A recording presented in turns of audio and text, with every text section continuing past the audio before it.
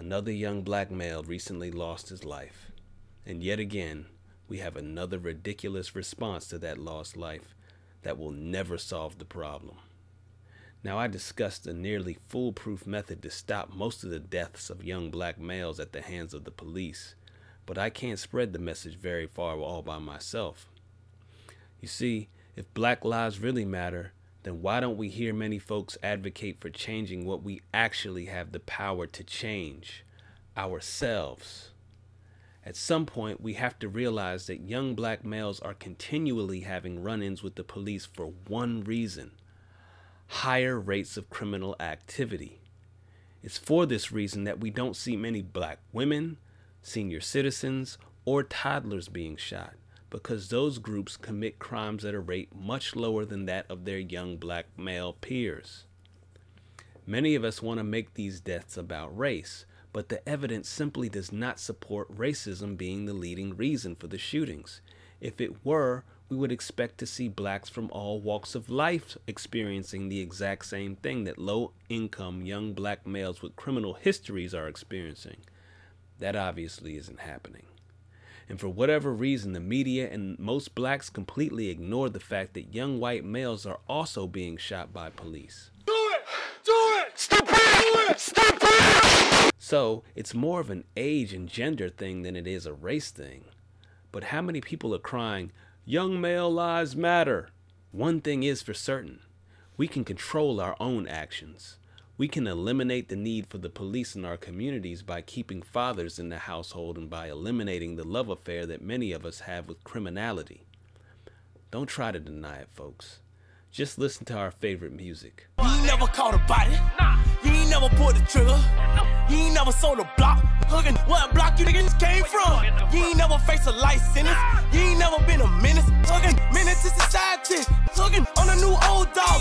Must the land of my world. Law, law by the citizens. Get it if they get involved. Watch our favorite reality TV shows. Talking about Cardi in his text, what happened?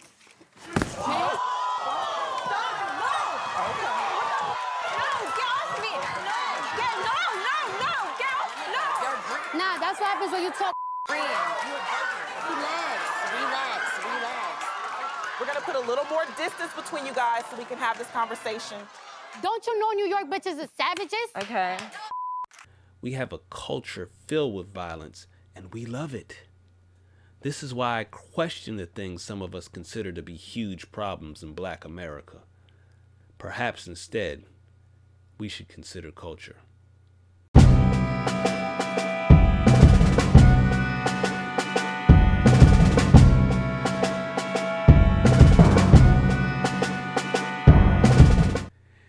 2016, following the shooting of Joseph Mann, Sacramento, California enacted a citywide policy that required all police officers to wear body cams as well as receive increased training in de escalation techniques.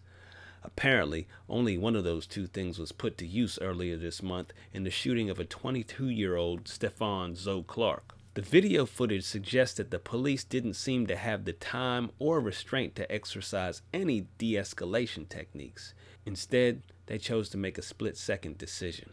What we do know is what we can see in the body cam and the thermal footage from the helicopter. What we saw is a young man engaging in some suspicious activity, running through yards, looking into parked car windows, and jumping over fences. These are certainly not normal activities for law abiding citizens. So the reason for the police being there is that they had received calls of a young man breaking into at least two cars. The caller stated that the suspect had broken into his truck and a neighbor's vehicle, then ran into a nearby backyard once he was confronted by the man in his baseball bat. What's going on there? Yeah, this guy's going down the street breaking windows of cars. He busted both my truck windows out. He busted in the people's backyard right now, uh, across the street from my place. He busted two of my windows out and he broke the car's window out across the street from me. The witness could not see the race of the man, only the fact that he had on a black hoodie. Is he black, white, Hispanic, Asian? He had a hoodie on. I couldn't tell, man. We have two um, ground units coming too that are on Meadowview right now, so they're Okay. about a block and a half away. Yep. their dogs are going crazy in the backyard, so he's, I think he's still there. Good.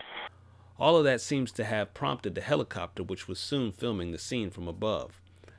Someone from the helicopter described the suspect as picking up a toolbar and breaking a window of a home. And of course, all of this seems like a reasonable reason for police pursuit. Where it gets a little tricky is in what happened after police arrived in the Clark's grandmother's backyard where the shooting ended this young man's life. Show me your gun! Show me your hands! Gun, gun, gun!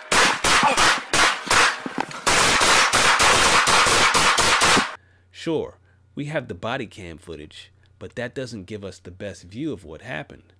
From the thermal video, it does seem that Clark was moving towards the officers who were at the corner of the house with their guns out.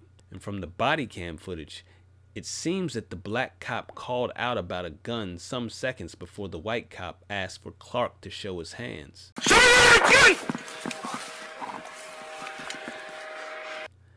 And then, a second after that, the white officer cries Gun, gun, gun! and fires 10 shots. His black partner also lets off 10 shots quickly following the first officers. Now, knowing what we know about these shootings that occur between young men and officers of the law, it's quite difficult for me to understand this young man's actions. The rhetoric teaches us that police shoot young black males for little to nothing. If the majority of black men in America think that that is a fact, then why would they have anything in their hands when the police are pursuing them? Why would they not raise their hands high and stay still? I know I would. Some believe that the police were too quick to shoot. This is certainly a possibility, but from the video footage, it's hard to tell if Clark's forward motion was aggressive in nature or not. When your life's at stake, as police lives often are, one wrong decision could literally lead them to their own death. And we see how serious they take this when we look at the video after the shooting. They still are on guard even after the suspect is shot and motionless. Police department, can you hear us? We need to know if you're okay.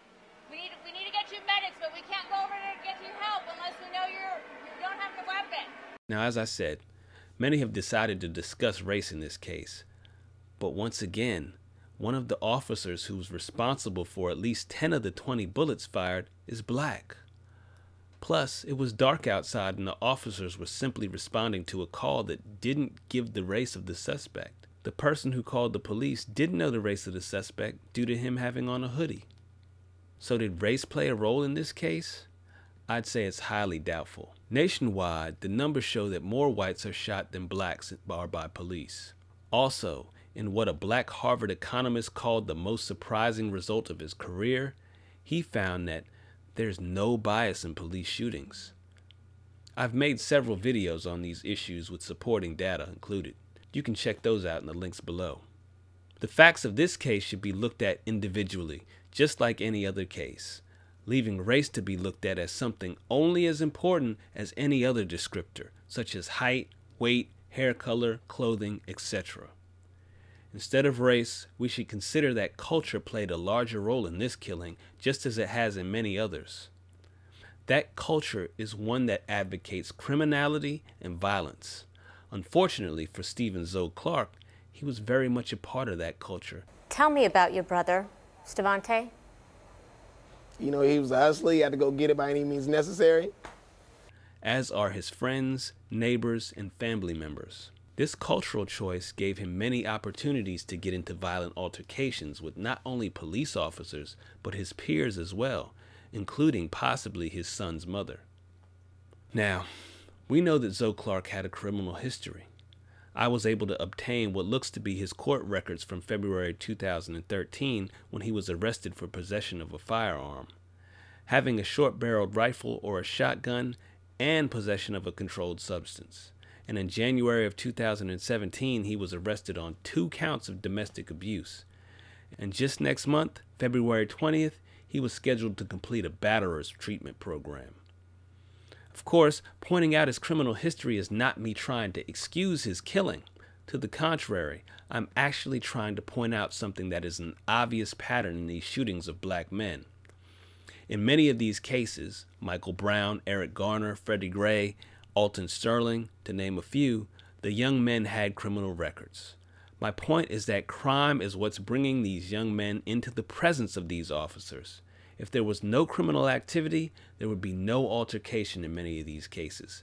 For the most part, squeaky clean young black men are not being shot by the police, which, by the way, we would expect to see if this was all about race. The other piece of this is that most of these shootings occur in areas where crime has been a problem.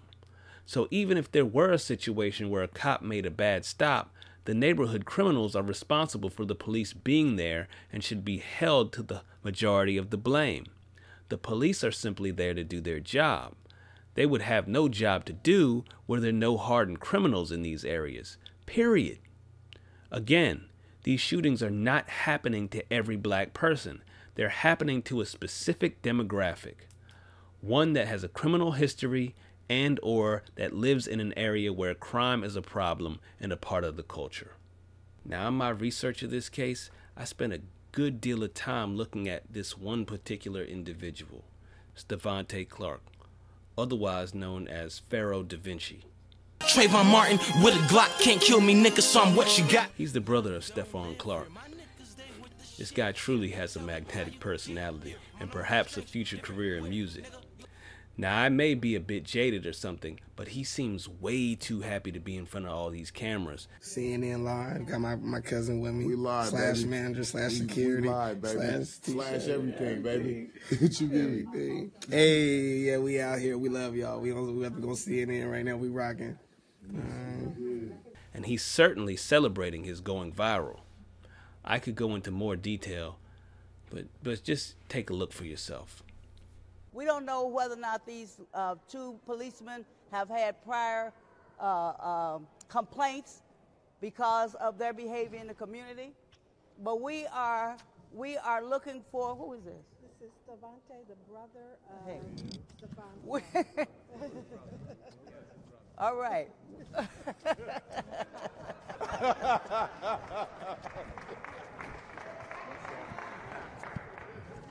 Love, love. Huh? Real talk. Black Okay. Lives Matter. Okay, wait a minute. Hang on. Hang on. Let me finish. I was making a point for you. Huh? Wait a minute. Hang. Huh? Huh? Huh? We're so sorry for the loss of your brother and for the road that you now no, have you to don't. walk. I, well, well, no, without I, well, I, don't, I don't, I don't, I don't need you to be sorry because I can't do nothing when I'm sorry. Okay, I need you to pray Okay. for me because because we got this. We tired of the sorries and, and, and the trying to exploit our pain and all that. Okay, we're trying to move forward. We're trying to bring peace and justice. We want community centers, resource centers, libraries, our own security teams. We're trying to get it for us. Stephon Clark! Stephon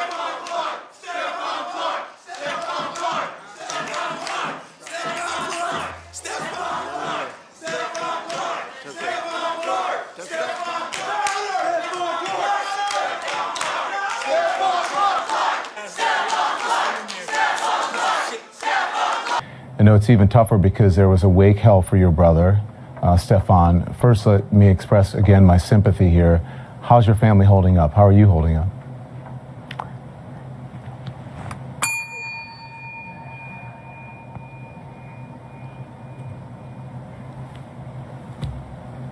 What does that mean?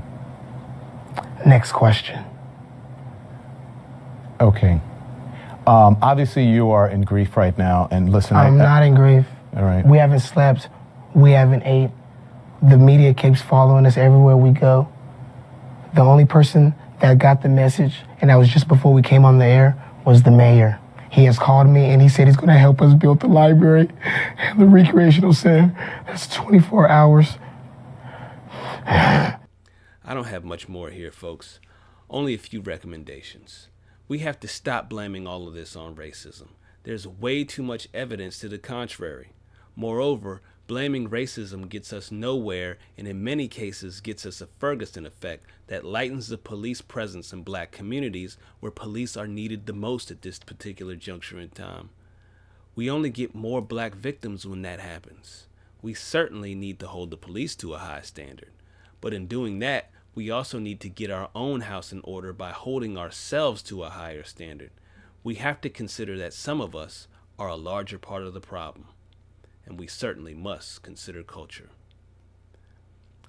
I'm Chi Brown. Remember to subscribe, like, comment, and share this. I appreciate it. I'm out.